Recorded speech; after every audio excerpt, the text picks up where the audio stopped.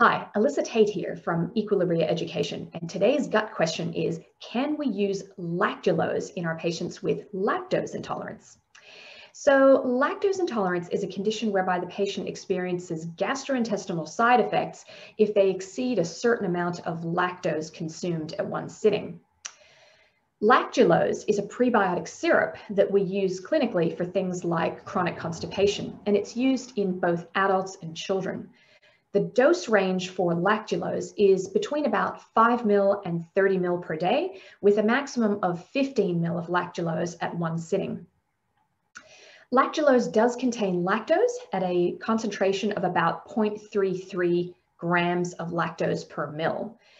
The lactose threshold in patients with lactose intolerance is about 12 grams, which means that most patients with lactose intolerance can consume up to 12 grams per day, uh, sorry, per uh, sitting of lactose without appreciable side effects. That's the amount in about 36 mil of lactulose. And remember, we're using a maximum of 15 mil of lactulose at one time. So it's actually less than half the lactose threshold. Clinically, I usually start at a lower dose of about 2.5 mil or up to 5 mil of uh, lactulose at a time, which is a maximum of 1.5 grams of lactose.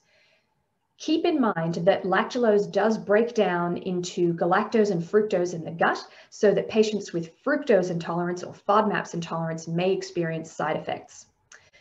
But in summary, lactose intolerance is not a contraindication to the use of lactulose in our patients with constipation. Lactulose can be used in our patients with lactose intolerance. I'm Alyssa Tate. Thanks for watching the Gut Digest. See you next time.